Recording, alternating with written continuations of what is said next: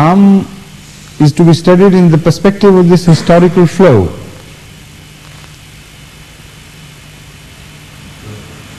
Any other question making a part of this? Is, was it all? Alhamdulillah. Yes, yes please. Who? who? Mr. Idris? Where is Mr. Idris? Huh? Uh, uh, Mr. Idris, yes please. After him, yes. Do you want to ask a question? Will it be difficult for you to walk up to the microphone? In that case, we can, uh, the microphone can reach you perhaps, can't it? Why don't you take the microphone to him? Because, or will you take the trouble to walk up to here? No, no, I think take the microphone there, please.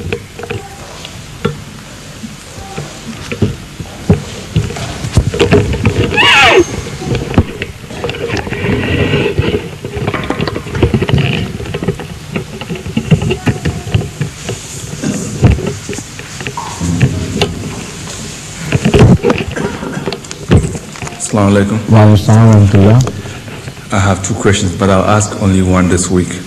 Thank you.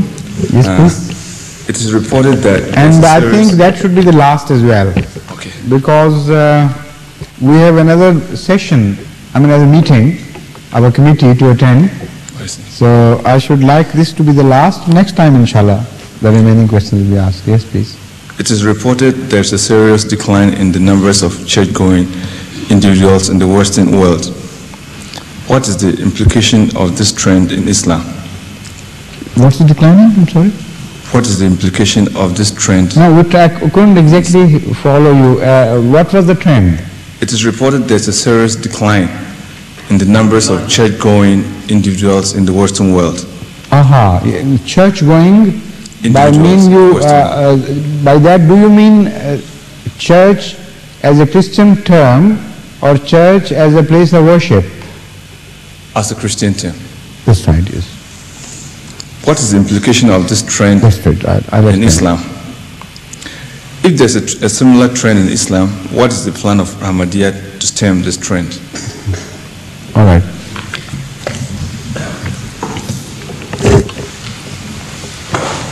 This question can be uh, answered from various, can be looked at and answered from different angles. Number one, as far as the sanctity of churches is concerned, Islam speaks very strongly of, about the sanctity of places of worship, including churches. And there it does not make any discrimination. In the verse which I quoted regarding the permission to defend yourself against an enemy who is persecuting you, persecuting you religiously, the permission is attached to this condition and it is explained. The Holy Quran says that if you had not permitted people to defend themselves for a right cause, then even the churches would be demolished and the synagogue would be de- de- destroyed. And so would be the places of hermits and also the mosques. So here Islam brackets every place of worship with the mosque and mentions church as such. So that shows that anything which is built for the sake of worship to God must be respected. Regardless of whichever religion has built that place of worship. Now if church, those who believe in Christianity decrease going to churches in number, then it's a sad affair according to this uh, declaration of the Holy Quran. If churches are to be respected, they are respected only because there are, there are people who go to churches for the sake of worship. If they have wrong concepts of God or if they associate partners with God, even then, the true intentions behind their taking the trouble of going to that place of worship is just to bow to some deity which they think uh, is responsible for their creation. So eh, this is the most beautiful universal principle which has been given to us by the Holy Quran that the places of worship must be uh, respected and their sanctity must be safeguarded and their sanctity depends on the attitude of their own people. If they disregard them themselves, it will be a very sorry situation. So that is the disadvantage. That is the bad point of uh, the trend you are, you are just mentioning. But there is a silver lining to every cloud, as they say.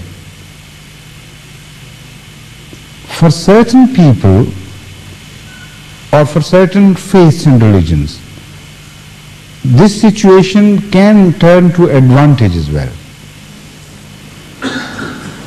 If there is a debate on which religion is true,